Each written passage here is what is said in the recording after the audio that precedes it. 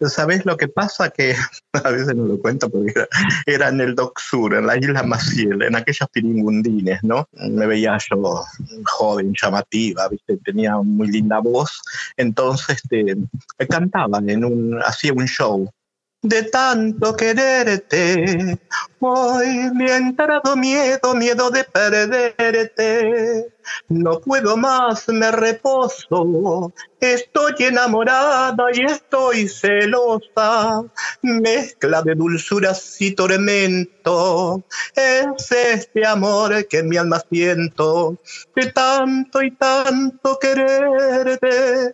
Ay, me ha entrado miedo de no verte más. ¿Te gusta?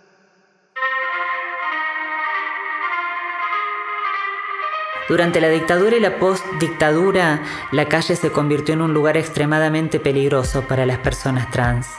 Los edictos policiales le daban vía libre a la policía para detenernos y llevarnos presas. Pero existía un lugar en donde sentirnos plenas. Un oasis en el que podíamos usar plumas, concheros y purpurina, en donde podíamos cantar, bailar y ser ovacionadas. El escenario. En este capítulo hablaremos de eso, del cabaret, del show, de las artistas y de las coperas, de las que pudieron actuar muchos años y de las que tuvieron que escaparse rápido, de las que llegaron a la calle Corrientes y de las que llenaron de glamour los cabarets de la Patagonia. Soy Camila Sosa Villada y este es el podcast del Archivo de la Memoria Trans. Una producción del Centro Cultural Kirchner y Futurock. Bueno, eh, mi nombre es con el que nací, Jorge Pérez, Jorge María Pérez. Y en el, teatro yo estaba Jorge Pérez, este, Evelyn, que era mi personaje, ¿no? Que era mi trans. y donde empecé a practicar en Maracaibo, en Mar del Plata. Y de Maracaibo, ahí vino Lía Reiner, que era la dueña del famoso Cancán, que estaba en Pasaje Ciber, en Buenos Aires. Y de ahí me llevó ella a a Buenos Aires, porque quedó encantada conmigo. Y ahí en Cancán es de donde salí, que vino Leo Vanés y que me llevó a la calle Corrientes y que hice dos revistas muy buenas, una que fue Verdísimo y la otra que fueron Los Vecinos de Corrientes, con gente que en esa época, claro, de mucho nombre, Dolores de Chico, Jovita Luna, Pablo Palitos, y yo era la primera vez. Y de ahí eh, salió Una Noche de Locura, una revista con Alberto Locati. Y de la revista Alberto Locati vino Gerardo Sofovich y me hizo regresar de Brasil, porque yo me había ido a Brasil, que tenía que hacer unas presentaciones en Río y no pude porque me hizo regresar para empezar los ensayos de Corrientes de Lujo. Con Estela Raval, Chico Novarro, Martí Cossens, la BD de Moulin Rouge de París, y que fue un espectáculo fabuloso. Eh, que al mismo tiempo, ahí fue cuando conocí a Alberto Olmedo, que me dijo, tenemos que hacer algo juntos. Y a los dos meses me enteré de la película Mi novia travesti, que iba a ser yo. 1975. Cuando me llaman para hacer la película y que el interventor militar de censura dice que no podían usar la palabra travesti en el título, muy ignorante de parte de él porque mi novia él sigue haciendo una referencia a una homosexualidad.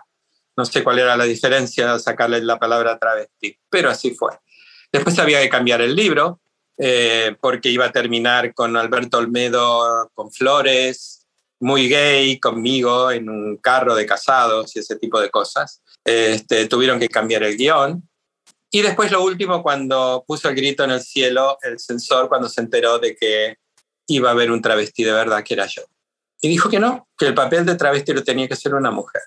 Y ahí fue cuando se lo dieron a Susana Jiménez pero sí le permitieron a ella salir de varón. ¿Eso no era travestismo también? Yo pienso que sí. Pero parecía que estaba bien visto que una mujer salga de, de varón, pero no un hombre vestido de mujer. El morbo, el típico morbo, de que dos mujeres en la cama están bien vistas, pero dos hombres no. Pero no hay derecho, qué mal he hecho yo, señor. Ay, ¿qué te pasa? Pasa que soy un hombre normal, pasa que tengo sangre gallega, pasa que cuando le veo ese culo me quiero cortar las venas. Ay, pero Alberto. Alberto las pelotas. Si yo fuera amigo suyo, me tendría que tirar abajo de un tren. Porque yo siempre tengo relaciones normales. Y usted me quiere hacer cantar barraca, pero barraca de acá. Eso es algo que tenemos que aclarar. Yo no soy un hombre. ¡Oh! No es un hombre, no es un hombre. Sos un operado. No, soy una mujer. Permitime que me carcajee. De todas formas, eran contadas las travestis que llegaban a la calle Corrientes o a los teatros de Mar del Plata. Para todas las demás existía un circuito a lo largo y a lo ancho del país que estaba dispuesto a recibirlas. Los cabarets. Algunos muy finos y caros, otros más marginales. Eran espacios a donde el público se acercaba a tomar una copa y ver un espectáculo.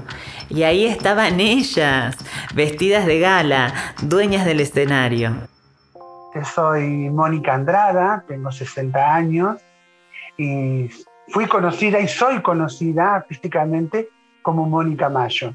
Eh, mis comienzos en la década de los 80 fue, el, furor, el furor de, las actuaciones, lo que nosotros nos permitía este, brillar, poder eh, cumplir con nuestros sueños, ¿no? Bueno, en los, en los 80 tuve la oportunidad de poder este, tener una prueba, porque nosotros hacíamos espectáculos, lo que llamábamos en los asaltos familiares, en reuniones, teníamos un grupo de, de, amigas que, que comenzamos en esto y hacíamos estas actuaciones, hasta que tuvimos la primera oportunidad, nos la dieron en Rosario. Yo soy nacida en Rosario y había un cabaret en ese momento, muy de lujo, este, estaba prohibida las presentaciones de todo lo que sea transformismo y mucho menos personas travestis, ¿no? Y un día este, acompañamos a una amiga nuestra que trabajaba en, ese local, hacía la limpieza y nosotros íbamos y aprovechábamos ese momento de acompañarla y usábamos las luces, usábamos la música y todo. Y el dueño nos preguntó, ¿y ustedes animarían a hacer un espectáculo? Un visionario en ese momento. Y le dijimos que sí. Dijo, bueno, en una semana les tomo la prueba. Le gustó tanto quienes los hacíamos.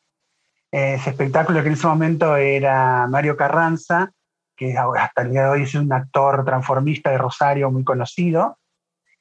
Invitaciones de Laisa Minelli y mi compañera Viviana, Viviana Blasón, que es una de las eh, reparadas que está haciendo la obra de, de teatro. En ese momento eran nuestros comienzos.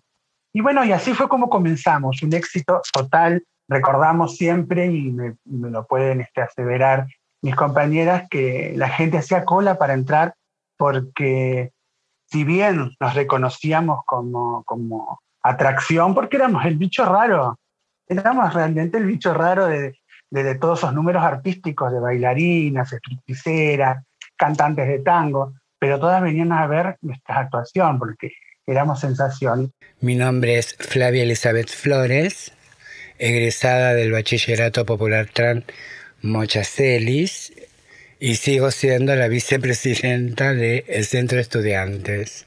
Tengo 56 años, mi transición fue a los 14 años, o sea, empecé mi vida de chica trans a los 14 años y, este, bueno, como todas, empecé en la calle, después en departamentos privados y como ya no quería eso, una chica, me acuerdo en un local bailable, me dijo, ¿por qué no te animás a hacer show? Porque vos tenés esa, ese poste. Digo, ¿te parece yo? Y así fue. Fui a un local que estaba en Pellice Panamericana que se llamaba Dalí, un cabaret divino. Y fui a hablar con el dueño, le dije, mira, yo soy una chica travesti, porque en aquella época no se decía trans, sino travesti. Yo hago este espectáculo en la cual este, hacía un playback y después me desnudaba completamente. Cosa de que era una novedad porque ninguna se desnudaba y mostraba el sexo, ¿no es cierto? Ninguna. Siempre se tapaban o quedaban con conchero. Yo no, yo tipo atrevida. Cada una tenía su espectáculo. Algunas cantaban, otras hacían playback, otras bailaban, otras hacían chistes, algunas hacían todo. Este, y la yo de la copa eran purpurinas, me ponía mucha purpurina en los pechos para que no se note la falta de ellos. Tenía las tetillitas así paraditas y, y, con mi pelo rubio largo natural, que además me ponía mi pareja, Rodolfo Valentina, el peinador tan conocido, me agregaba un poco de pelo acá atrás y eso salía desnudo en la copa. Este, un pase, pero eso era un pase muy, muy, muy bonito. Pero en sí lo que Evelyn hacía era cantar con su propia voz, nunca playback, siempre con mi voz natural, que la sabía poner de mujer porque había estudiado canto. Y, este, y bueno, y bailar y hablar con el público y jugar acerca de mi condición con, la platea. Cuando me tocaba nightclub lo hacía con la platea, así con la platea, cuando me tocaba teatro bajaba del escenario a la platea. Y usaba Poisson, por eso siempre el público decía que escuchaban mi perfume desde la platea. Yo comencé, no tenía pecho, yo recién empezaba a hormonarme mis primeros pechos eran bolsitas de, de, arroz. Entonces yo tenía que disimular eso. Y como recién empezaba a hormonarme, ya el cuerpo ya cambiaba. Yo tenía un cuerpo bastante femenino, pero no tenía crecimiento de mamas. Tenía buenas caderas y todo. Y bueno, nuestro primer show, mi primer show era fonomímica. Empezaba cantando canciones, por ejemplo, en aquella época era el furor de Rita Lee. Me gustaba siempre usar músicas brasileras, cosas así. Y bueno, y después hacía lo que llamamos un medio street, que era bailar y quedarse en bikini. Fuimos haciendo otro tipo de, show, tipo erótico o, adagios, que eran todos así más como actuados. Después, cuando nosotros estuvimos en Bahía Blanca, fuimos este, muy más, más atrevidas. Eh, nosotros hacíamos lo que llamábamos un desnudo total, pero no mostrábamos nada porque teníamos nuestros famosos trucos, que era una cinta con unos vellos, como simulara que estábamos desnudas ni nada. La policía había prohibido los desnudos, pero a nosotras nos permitían porque realmente nosotras no mostrábamos nuestro sexo, nuestros genitales, los simulábamos, bueno, entonces nos permitían. El show de ella era comicidad, mostraba mucho lomo, porque tiene muchas lolas, era grandota, viste, era muy tipo Lía Cruzet, pero versión morocha, ¿me entendés? Pero muy lindo cuerpo, este, y aparte simpática con la gente. Eso es lo que tenemos que tener nosotras, comprarnos la gente. Claro, cuando hago el show, abro las plumas, pues yo siempre sacaba abanicos de plumas, donde yo, cuando me quedaba desnuda, me tapaba. Cuando abro así las plumas, la gente no podía creer lo que, había, lo que veían, porque yo era cinco segundos, que era pum pum, otra vez me daba vuelta y me cambiaba de hombre en el escenario. ¿eh? Me ponía un pantalón, alpargatas y una remera. Y ahí mismo, con la, en cinco segundos, antes que terminara con el tema de Sandra Menovi, Soy lo que soy, cuando recién era el éxito, me sacaba toda la pintura en el escenario. Claro, una ovación total. Pero el trabajo en los cabarets no era solo actuar y cantar. Después del show venía la parte en la que más plata se ganaba. Era el momento de las coperas. El rol de las coperas no era otro que charlar con los clientes y hacer que estos les invitaran tragos. Cuantas más copas te invitaban, más plata ganabas al final de la noche. No existía este, tanto el sexo. La persona que entraba a un cabaret sabía que iba a ver el espectáculo o a pagar copa y nada más. Todo lo que quisiera conseguirlo lo conseguía afuera o si lo arreglaba con la chica o, algo. Y inclusive los cabarets, las chicas tenían la categoría de, de, copera o chica de sala, porque las chicas eran expertas en hacer copas. No pasaba por la prostitución este, con acceso carnal, ¿no? Chicas que venían, se sentaban, charlaban con una persona y a hacer copas, copas, copas, copas y copas. Por ejemplo, en Rosario, ahí en el Toulouse, para vos llevar el control eran las copas simples, eran unas pulseras azules. Las copas dobles eran unas pulseras blancas, entonces vos te las ponías y aparte era lo que te motivaba, vos veías tu brazo y veías, siempre fuimos competitivas todas dentro de un, de un cabaret. Vos veías una compañera que tenía 20 pulseras y vos ya querías tener 30. En mi experiencia, mi amor, las copas las contaba yo. Pues si ahí me dabas pulseras, no me entraban por la mano. Porque las pulseras eran unas cosas así. Este, las fichas, olvídate porque no, no, no teníamos las bolsitas, ni yo no me armaba una bolsita para andar con la ficha chiqui, chiqui, chiqui, chiqui. No.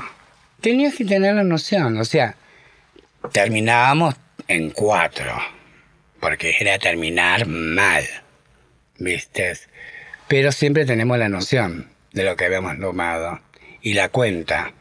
Pues yo lo que hacía era siempre lo mismo. Terminaba la, noche, entonces hacíamos cuentas. La plata del espectáculo, que eso era el calle del contrato, más las copas, y si yo quería, pasaba con un cliente.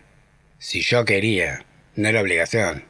Y como yo tomaba los llamasitos chiquitos, em, fresitas, los fresitas chiquitos, entonces yo, claro, en algunos eran jugo y en otros eran champán. Yo cuando decía, el verdadero, yo siempre decía al, que me servía, ¿qué vas a tomar? Y dame para empezar algo fuerte. Ya sabían de que me tenían que dar el verdadero. Cuando decía liviano era porque ya estaba media maría, decía, no, dame livianito. ¿Me entendés? Ya sabían que tenía que tomar jugo. Sí, no, no, eso, eso del té, eso del té es un mito. Esto del té es un mito. En algunos lados lo pueden haber usado en algún momento, pero no, no, no. Los zumos te pueden haber llegado a dar gaseosa. Yo no. Yo, yo decía que yo era como, era como los vehículos. Si no tenía nafta, no funcionaba. Así que yo llegaba y me tomaba un whisky. Siempre fui, fui whiskera. tomarme un whisky como para agarrar, entrar en calor. Y después, bueno, siempre trabajaba, no cambiaba de bebida para no marearme más. Pero después ya llegaba un momento que ya te mandaban gaseosa o algo, pero este, no, no, tomábamos la tomábamos.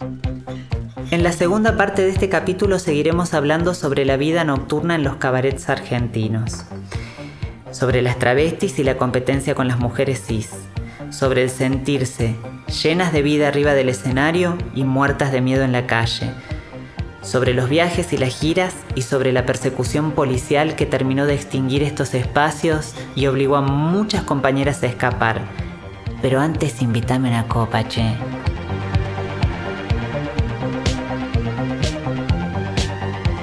Este podcast es una producción del Archivo de la Memoria Trans junto al Centro Cultural Kirchner y Futurock. Para saber más sobre el archivo, podés buscarnos en www.archivotrans.ar o en Instagram como arroba archivotrans. La voz de las narraciones es de Camila Sosa Villada.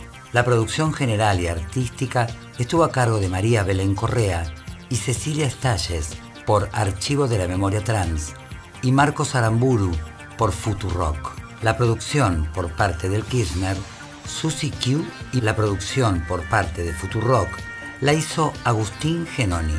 La edición y musicalización, Antonio Boyadjian. Locuciones, Nati Menstrual.